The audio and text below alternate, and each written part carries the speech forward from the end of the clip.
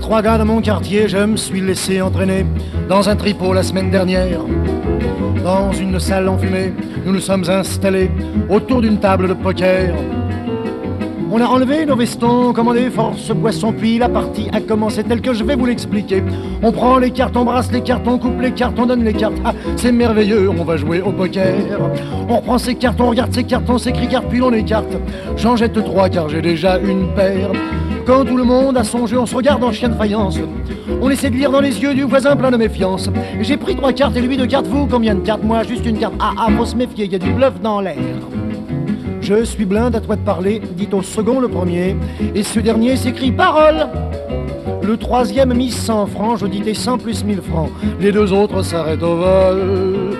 Le troisième me dit voilà tes 1000 francs, qu'est-ce que tu as Trois dames, j'ai gagné, je crois, non dit-il, car j'ai trois rois. On prend les cartes, on brasse les cartes, on coupe les cartes, on donne les cartes.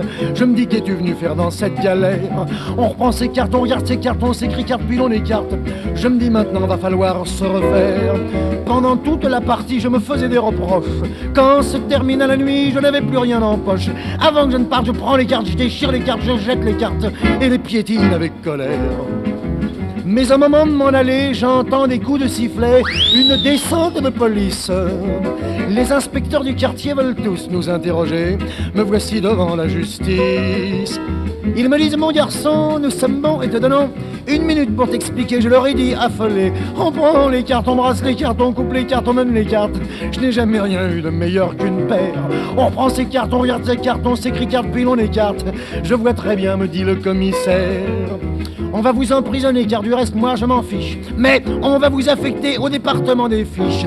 On prend les cartes, on regarde les cartes, on trie les cartes, on range les cartes. En prison je suis devenu fonctionnaire. Tout ça parce qu'un jour, un bien triste jour, j'ai voulu jouer au poker.